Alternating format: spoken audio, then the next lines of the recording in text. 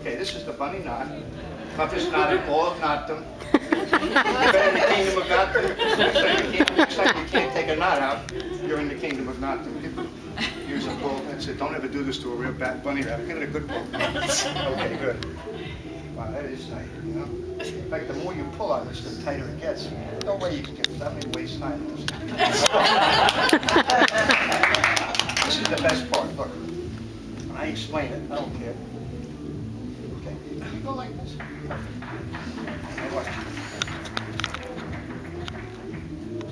Put it over here. Next time you have a knot, you can't get it out, put your thumbs together, you split the knot, right in half, right? This way it becomes a what knot? What knot?